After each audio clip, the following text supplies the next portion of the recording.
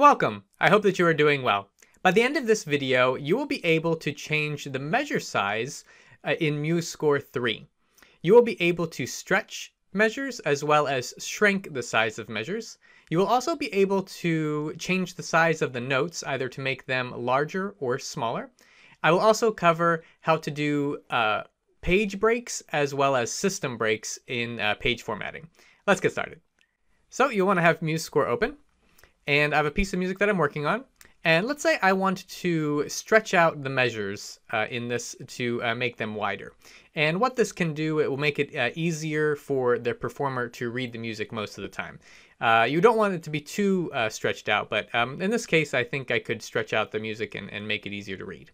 So in order to, there are a couple ways you can do this. Uh, the first way is to go over to the left-hand side of the screen where you have your palettes, and you look for the palette that says breaks and spacers, uh, and then you can drop that open. Again, if you don't see breaks and spacers, you can go up to add palettes, and then you can find it there.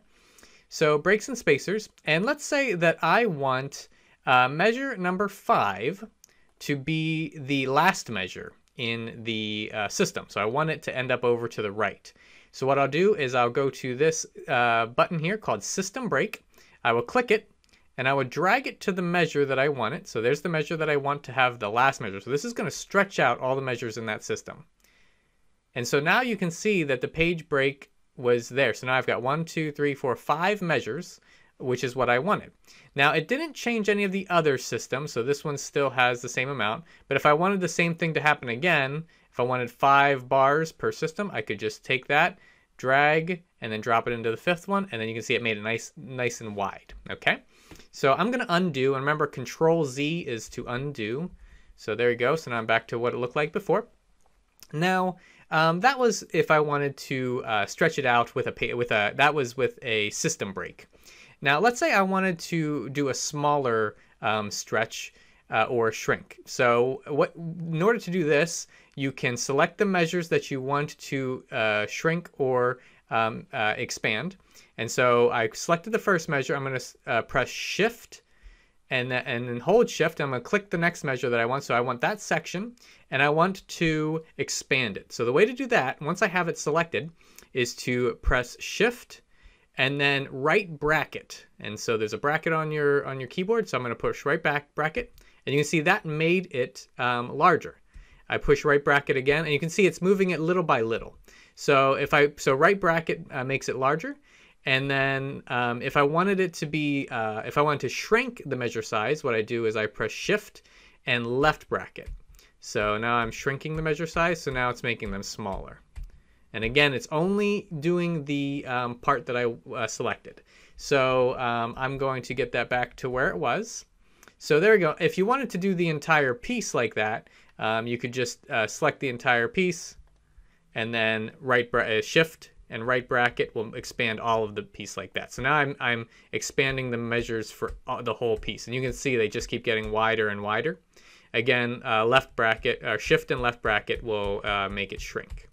Okay, so now we're back to about what we looked like at the beginning. So now you know how to uh, stretch and to shrink the measure size, as well as do the system breaks. Um, I want to show you uh, an area that you can even do um, more things, but before we do that, um, let's say uh, one thing you want to do is space out the measures a little bit more. So let's say uh, the treble clef and the bass clef, you wanted to have them a little spaced out. So what you can do here is find the staff spacer and then drag and drop it to, this, to where you want to space and it's going to pull down this line and then you click on the line and then you just pull it down and you can see it'll make the make it larger or you can pull it up to make it um, smaller. Okay so that's how you can uh, change the the space between uh, staffs. Um, and then um, before we get to page break let's go ahead and show you how to um, do other uh, formatting with the measures here. So what you will do is you'll go up to format on the left hand side and do page settings so when you get to format page settings, um, this is going to, to show you how to um, increase the size of the notes, okay? So if you want to increase or decrease the size of the notes, this is where you find it. Again, so it's uh, format page settings. And once you get there, you'll see that there's a place called scaling. And so what I can do here is I can, if I want to make the notes larger, I can make the scale larger. So let's say I press that up and then I'm going to go ahead and I, I press it up a couple times. I'm to press apply and you can see the notes behind became much larger just from doing that. So if I go back to staff space and I go back, if I just press the press it down and I press apply, it'll make it smaller. Let's see if I wanted to make the notes really small. Um, let's say I had a, uh, maybe a big orchestration I was working on, then you can go even smaller, press apply, and now you can see the, the notes are very, very small in the background. So, um, so again, so to find this, you go to Format, Page Settings, and then in Page Settings, it's at Scaling, okay? And there are a couple other things here that you could do. It's uh, this uh, video is mostly for measures, measure sizes, page breaks, and those kinds of things. But you could change the um, change the formatting uh, of this of the piece um, to you know um, to landscape instead of portrait. Um, so if you see that, it'll make it wider.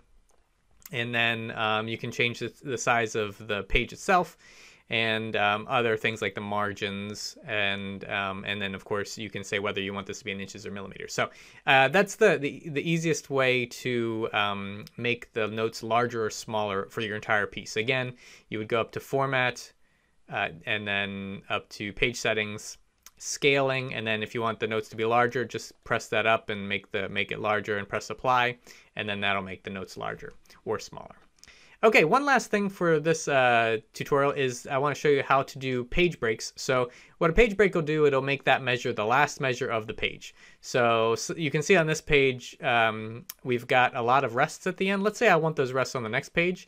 What I'll do is I'll go to breaks and spacers in the palettes again, and there's page break. Um, it's the second icon there. You will click that and then drag that to the measure that you want to be the last measure of this page. So there's that measure, and then now you can see that measure is the last measure of this page. And again, so that put the spaces on the next page. Okay, you now know how to change the measure size uh, by shrinking or stretching the measures in MuseScore 3, as well as changing the note sizes uh, so that you can format the pages the way you would like it. If you have any questions, please drop them in the comments section below. I will do my best to answer those. I also have other MuseScore 3 tutorial videos available. I will put links around this video. If you enjoyed this, please like this video and subscribe to my channel. I thank you, and I look forward to seeing you in the next video.